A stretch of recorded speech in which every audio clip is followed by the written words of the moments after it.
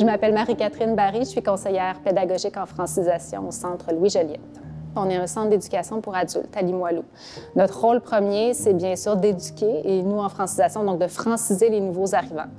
Mais aussi, on a tout un rôle d'intégration, d'inclusion. Donc, la, partie culturelle, leur faire découvrir la culture, la ville, ça fait partie vraiment de notre rôle aussi.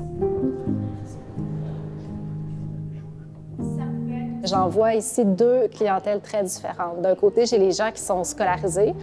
Donc, euh, ça, c'est des gens comme toi et moi. Si on allait au Brésil, il faudrait qu'on apprenne le portugais, donc il faudrait qu'on aille s'asseoir dans des cours, il faudrait qu'on découvre le Brésil et tout ça. Donc, c'est des gens qui, sont ici, qui sont travailleurs, qui ont à apprendre le français, mais qui n'ont pas beaucoup de temps pour visiter la ville puis découvrir. Blanche Gabrielle.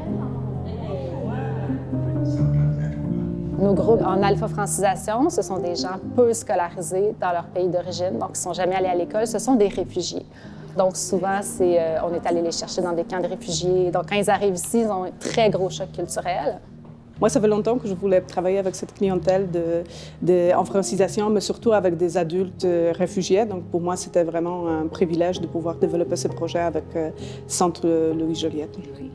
Pour nous, ça s'inscrit dans notre, euh, dans notre mission, la mission du musée, et aussi dans notre volonté de devenir plus accessible. Donc, on développe, à la médiation, en musée, on développe différents euh, programmes qui permettent de rejoindre les gens qui sont habituellement un petit peu plus éloignés de notre offre culturelle.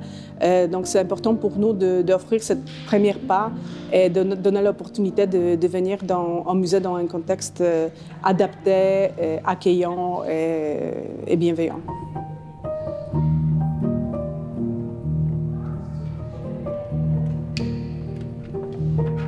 Moi, je crois beaucoup qu'on s'intègre ou qu'on connaît une société d'accueil à travers son art. Je pense que plus on leur fait visiter des lieux signifiants dans la ville, plus ils vont se l'approprier, plus ils vont avoir des repères sais, comme on a pris l'autobus, tu sais, juste pour eux de monter en haute ville, il y en a qui le feront jamais si nous, on les amène pas parce que leur, univers est en bas.